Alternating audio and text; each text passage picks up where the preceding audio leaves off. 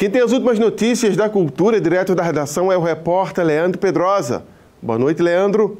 Boa noite, hermano. Boa noite a todos e todas. Hoje começo trazendo informações sobre a mostra Circulando de Circo e Teatro do grupo Oficina lá de Souza está acontecendo a primeira mostra Circulando Circo Teatro Virtual, em comemoração aos 40 anos do grupo de teatro Oficina. Realizado com recursos da Lei Emergencial de Cultura Aldir Blanc, o festival acontece de forma online e traz apresentações circenses até o dia 30 de julho.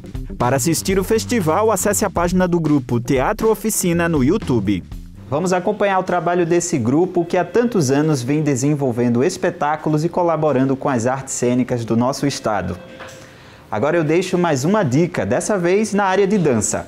A Fundação Espaço Cultural da Paraíba realiza hoje mais uma edição do painel FUNESC com o tema Dança e Educação: o ensino da dança em ambientes formais, não formais e informais, que terá como convidados Juliana Ribeiro e Arthur Marques, professores do curso de licenciatura em dança da UFPB, e Laura Moreno, diretora do CEARTE.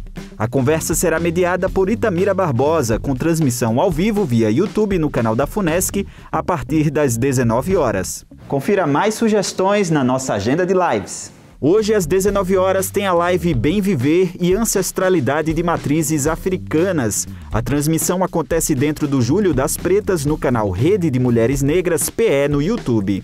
E amanhã, dentro da nona edição do Júlio das Pretas e da 23ª edição do 25 de julho na Paraíba, vai acontecer as intervenções poéticas negras com Luciana de Souza França, Inayana Gama e Laís Barbosa Silva.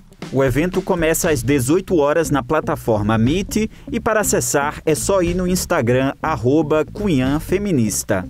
Essas foram as informações de hoje. Se cuida, fica bem e até a próxima. Hermano, é com você.